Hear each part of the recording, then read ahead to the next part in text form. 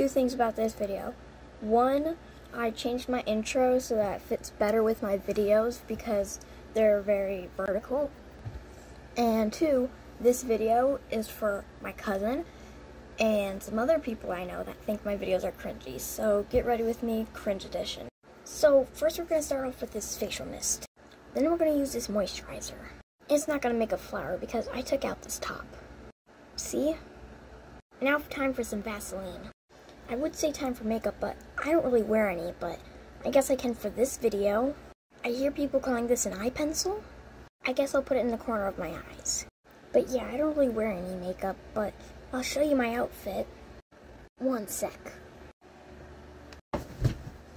Whoa.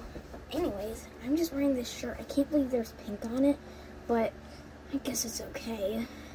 And these jeans. Anyways, bye.